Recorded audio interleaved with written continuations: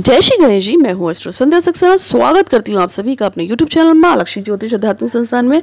और आज आप सबको एक बहुत अच्छी चीज़ बताने जा रही हूँ। जैसे आप जानते हैं शिव पुराण का हम पाठ कर रहे हैं। और आज हम शिष्य पुराण के जो तीसरा खंड है, यानी रुद्र संहिता का जो तीसरा खंड है पार्वती खंड, उसके पहले अध्याय की तरफ़ जा रहे हैं। जैसे कि आप जानते हैं कि भगवान श्री गणपति का हमेशा मैं ध्यान करती हूँ और उन्हीं की आशीष से मुझे प्रेरणा मिली है कि मैं आपको शिव पुराण सुनाऊँ। तो मेरे दो खंड पूरे हो चुके हैं। आज मैं तीसरे खंड की तरफ़ हूँ। तो आप सभी के लिए भगवान श्री गणपति महाराज से प्रार्थना करती हूँ कि हे भगवान गणेश जी, मुझ पे, मेरे परिवार पे, मेरे संस्थान पे, मेरे चैनल पे और वो सभी लोग जो दिल से मुझे अपनी माँ मानते हैं, अपनी बहन मानते हैं, दीदी मानते हैं उन सब पे कृपा कीजिए और उन सभी की मनोकामनाओं को पूरा कीजिए। तो भगवान श्री गणपति महाराज, भगवान शैनदेव, भगवान शिव जी महाराज, भगवान कार्तिकेय माँ लक्ष्मी, माँ पार्वती और समस्त देवी देवता का ध्यान करते हुए, माँ काली का भगवान भैरव का ध्यान करते हुए, हनुमान जी का ध्यान करते हुए, राम जी का ध्यान करते हुए, आज का मैं पाठ आपको स्टार्ट कर रही हूँ, सुनाने जा रही हूँ। जय श्री गणेश जी। तो जैसे कि आपने पहले वाले पाठ में जाना था कि एक वेशरण नाम का व्यक्ति था, जिसने कई सारे जन्म लिए और उसने भगवान शिव की बहुत तपस्या की। उसके बाद उसे कुबेर नाम से भगवान ने स्थान दिया और उसे अपना सखा बनाया और उसे सभी तरह के जो भी धन दौलत थे, उसका मालिक भी बनाया। तो भगवान श्री से शिव जी महाराज ने कुबेर को वरदान देकर जब अपने लोग को वापस गए तो विचार करने लगे कि मनुष्य की भलाई के लिए हम क्या कर सकते हैं जिससे मनुष्य का उत्तम बने। अतः उन्होंने निर्णय किया कि वो जो है कुबेर के पास उनके मित्र बन के रहेंगे और उन्होंने ये भी नहीं सोचा कि मैं अब धरती पे ही निवास करूँगा। जैसे कहते हैं ना, कैलाश पे वो निवास करते हैं। फिर वो उन्होंने कहा कि मैं किस रूप में वहाँ निवास करूँगा, क्योंकि मेरा ब्रह्मे शरीर को त्याग कर किसी अन्य निवास मतलब उन्होंने कहा कि यदि मैं कुबेर जो है, भगवान शिव के दोस्त बन गए थे, उन्होंने कहा कि मुझे धरती पर ही अवतार मतलब अवतार लेके रहना चाहिए।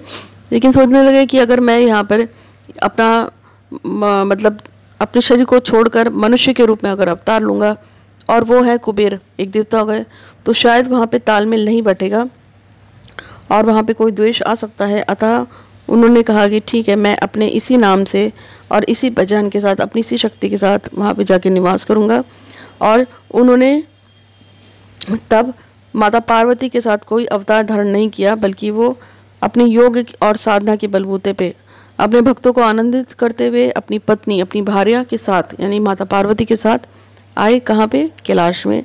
और उन्होंने डमरू बजाना शुरू किया और डमरू बजाते हुए तीनों लोग में झंकार उठी और समस्त त्रिलोकवासी जो है, वो खुशहाल होने लगे, झूमने लगे भगवान विष्णु गरुण पे और जो ब्रह्मा जी हंस पे और सनकादिक मुनि देवता सभी धर्म, सर्प सभी जो हैं भगवान शिव की तरफ़ चल पड़े और सदाशिव जो हर समय नशे में धूत रहते थे, उसी समय उन सब की तरफ़ सभी और चल पड़े और सदाशिव ने डमरू बजाया और सभी को दर्शन देने शुरू कर दिए।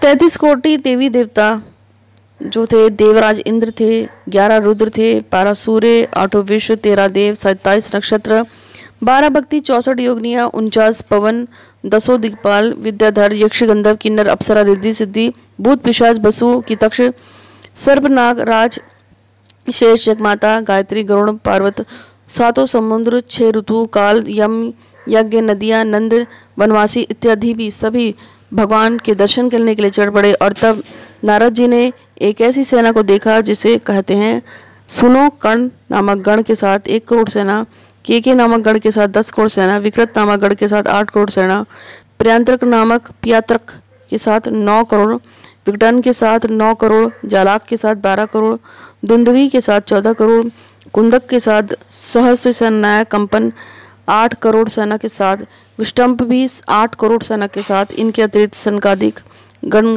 गणपति दस दस करोड़ की सेनाओं के साथ चल पड़े।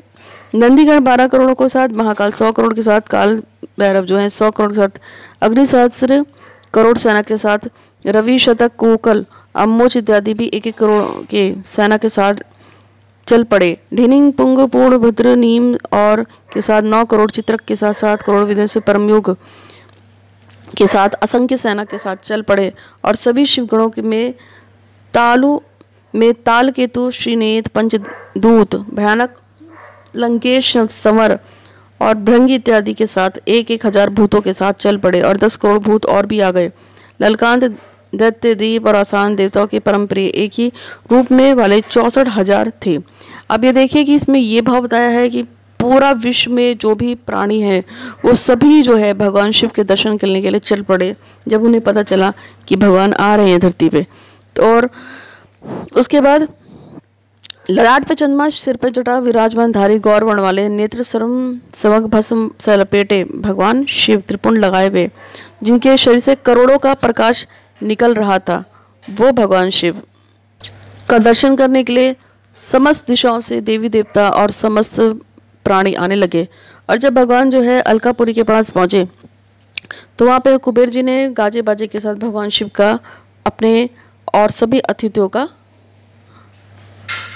आदर सत्कार किया और उनको अपने साथ, अपने लोक में ले गए, अलकापुरी में, जहाँ पर मैं जाती हूँ। और वहाँ पे उन्होंने भोजन इत्यादि का प्रबंध कराया सभी के लिए, जितने भी लोग आए थे सभी के लिए। इस तरह से ये प्रथम स्थान पूरा होता है, इसको मैंने स्थान दिया है।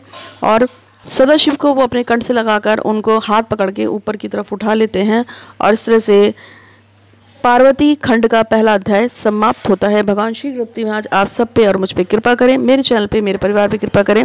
आप सभी की मनोकामना पूरी हो, ऐसी कामना के साथ आज के लिए इतना ही। विश्राम दीजिए। धन्यवाद।